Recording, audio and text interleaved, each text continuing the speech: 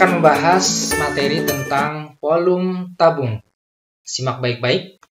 Nah, karena tabung termasuk prisma, maka rumus menentukan volumenya sama dengan vol rumus volume prisma, yaitu volume tabung sama dengan luas alas dikali tinggi.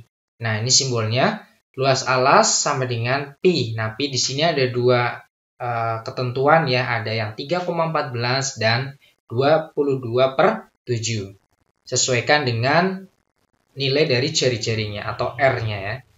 Nah, di sini R itu adalah simbol dari jari-jari. Nah, luas alas tabung itu sama dengan luas lingkaran. Jadi, volume tabung itu sama dengan luas alas kali tinggi atau volume tabung itu sama dengan pi R pangkat 2T dengan keterangan R itu sama dengan jari-jari alas tabung dan T itu sama dengan tinggi tabung. Nah, ini untuk uh, bagan dari tabung. Paham ya? Nah, next kita lanjut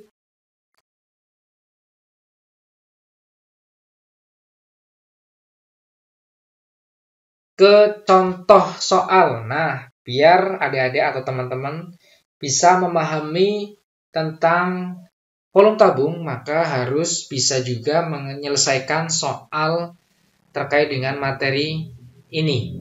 Jadi simak baik-baik di sini saya akan menyajikan 5 soal ya dengan variasi soal yang berbeda-beda. Nah, contoh soal yang pertama langsung saja kita bahas. Hitunglah volume tabung yang panjang jari-jarinya itu 5 cm dan tingginya 10 cm. Jawab ya. Kita tulis rumus dari volume tabung itu sama dengan PR pangkat 2T. Nah, maka sama dengan P-nya adalah 3,14. Nah, nilai jari-jarinya di sini adalah 5 cm ya. Jadi 5 pangkat 2 dikali T-nya tingginya adalah 10. Maka hasilnya adalah 785 volume tabung dengan satuan cm kubik. Contoh yang pertama sudah terselesaikan. Mudah ya dipahami? Next kita bahas contoh yang kedua. Diketahui volume suatu tabung 5086,8 cm kubik. Jika tinggi tabung itu adalah 20 cm, tentukanlah panjang jari-jari alas tabung itu. Dengan ketentuan di sini pi-nya sama dengan 3,14. Penyelesaian kita tulis diketahuinya, volumenya itu sama dengan 5086,8 cm kubik, tingginya itu sama dengan 20 cm yang ditanyakan R atau jari-jarinya. Kita jawab Volume tabung itu sama dengan PR pangkat 2T. Nah, kita tuliskan volume tabung sudah diketahui ya, yaitu 5086,8 sama dengan 3,14 pi-nya. Nah, R yang kita akan cari T-nya adalah 20. Nah, selanjutnya 3,14 kalikan 20 adalah 62,8. Yang lain masih sama ya, tinggal ditulis ulang. Nah, berikutnya, karena di sini perkalian, kita akan mencari nilai R, maka nilai konstanta ini kita pindah ruaskan. Yang tadinya perkalian, sekarang menjadinya pembagian. Nah, 5086,8 dibagi 62,8. Berapa nilainya? 81. Nah, karena yang dicari nilai R-nya, bukan R pangkat 2-nya ya, untuk menghilangkan nilai pangkat 2-nya, kita harus mengakarkan masing-masing ruas kanan dan kiri. Nah, akar dari R pangkat 2 adalah R. Nah, sedangkan dari akar 81 adalah 9. Maka jari-jari alas tabung itu sama dengan 9 cm. Terselesaikan soal yang nomor 2. Budaya dipahami? Kita lanjut ke contoh yang ketiga. Diketahui tabung dengan volume sama dengan 9420 cm kubik dan jari-jarinya itu kita uh, dibandingkan dengan T, ya perbandingannya dengan T itu sama dengan 1 banding 3. Nah, ini ketentuan di soal. Nah, pertanyaannya tentukan yang A jari-jari, yang B tinggi tabung dengan ketentuan P-nya itu sama dengan 3,14.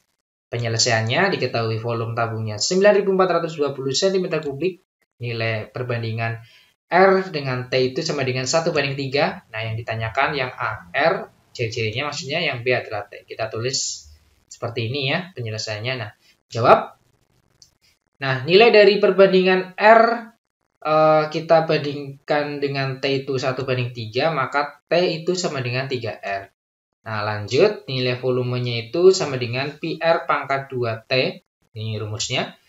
Nah, kita masukkan nilai volumenya 9420 itu sama dengan 3,14 dikali ciri-cirinya uh, R pangkat 2 kalikan T. Nah, Nilai T tadi udah diketahui atau diselesaikan yaitu 3R. Kita masukkan ya menggantikan nilai T.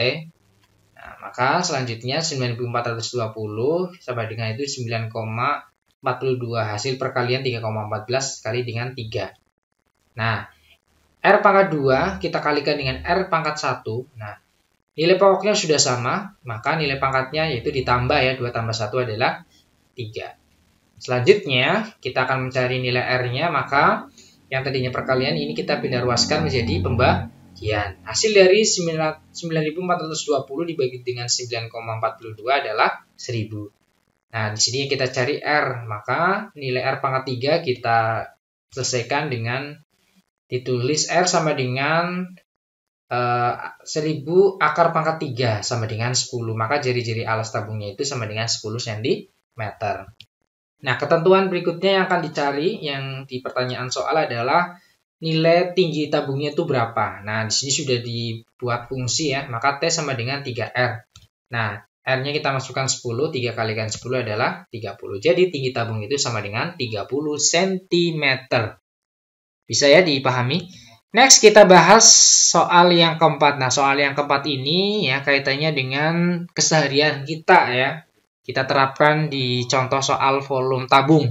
Nah, sebuah drum dengan diameter 50 cm dan tingginya itu 98 cm penuh berisi air. Nah, ini bentuk tabung ya yang kita sebut sebagai drum itu penuh air. Kemudian air dikeluarkan melalui keran. Jika keran dapat mengeluarkan air 2,5 liter per menit, nah tentukanlah lamanya air akan habis dari dalam drum tersebut. Nah, di sini ketentuannya gunakan pi sama dengan 22 per 7. Jawab. Nah, volume uh, drum itu sama dengan, nah rumus dari volume itu pi R pangkat 2. Nah, pi-nya adalah 22 per 7 dikali, nah ini R ya, 25 dari mana? Dari, nah di sini di soal diketahui diameternya 50. Nah, Sedangkan R itu konsepnya adalah setengah dari diameter. Maka 50 dibagi 2 nilai R-nya adalah 25. Kemudian untuk yang 98 ini adalah tinggi dari drum tersebut. Nah, maka sama dengan 1092 uh, 192.500 ya. Itu uh, cm kubik kita rubah ke satuan liter Nah, kalau kita mau cari cm kubik ke satuan liter itu, liter itu sama dengan desimeter ya. Maka uh, ketentuannya dibagi dengan 1000 karena di sini adalah ada pangkat 3 ya atau kubiknya. Maka hasil nilainya adalah 192,5 liter. Maka lamanya air akan habis dari dalam drum Nah, di sini untuk mencari nilai dari lamanya habis dari drum ini 192,5 liter kita bagi dengan 2,5 liter per menit. Maka sama dengan 77 menit. Setelah 77 menit, nah air yang ada di drum ini habis. Kita lanjut contoh yang kelima. Nah, contoh yang kelima di sini ada gambar ya sebuah benda pejal atau benda padat yang berbentuk tabung dilobangi di tengah seperti gambar di kiri ini. Nah, perhatikan. Nah, ini kita lubangin di tengahnya. Nah, yang diketahui AK itu e, sama dengan LB ini ya. Nilai panjang sisinya adalah 8 mm.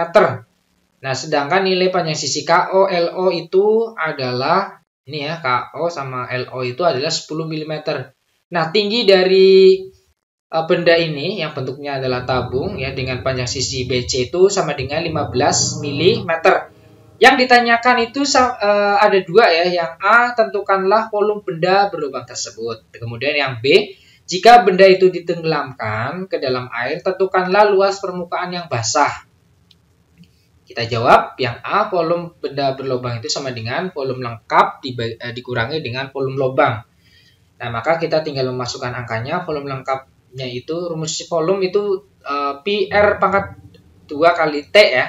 Nah, P-nya di sini 3,14 dikali dengan R yang pertama, ya, yaitu 18 pangkat 2, artinya dari volume lengkapnya itu dikalikan tingginya adalah 15. Nah, kemudian dikurangi dengan volume lubang. Nah, volume lubang ini 3,14 kali 10 pangkat 2 nilai R-nya. Nah, dikalikan dengan 15 tingginya sama. Nah, yang membedakan di sini adalah nilai R-nya. R yang yang uh, volume lengkapnya adalah 18, sedangkan volume lubangnya adalah 10. Maka hasil ureanya atau penyelesaiannya adalah 15.260,4 dikurangi dengan 4.710.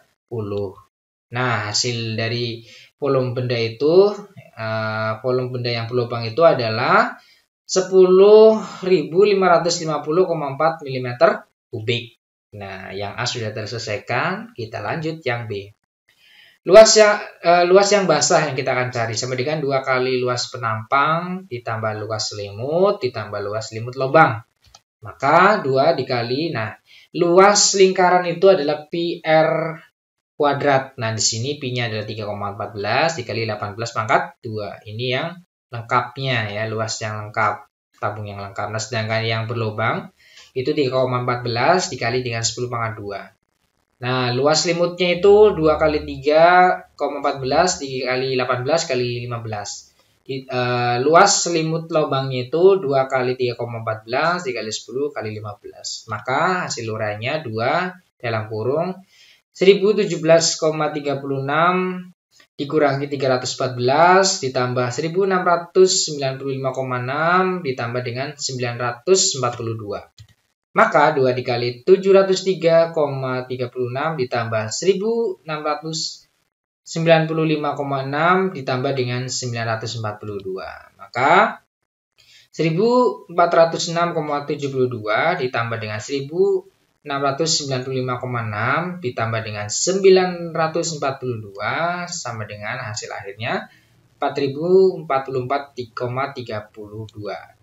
Jadi, luas permukaan yang basah itu sama dengan 4044,32 mm persegi. Nah, jadi satuan dari jadi ya uh, jadi satuan dari persegi sama volume itu beda ya. Kalau luas itu satuannya persegi, sedangkan volume itu satuannya adalah kubik. Nah, demikian yang bisa saya share. Yang kali ini kita membahas tentang volume tabung. Tetap semangat, tetap sehat, tetap optimis untuk meraih prestasi. Demikian, see you next time.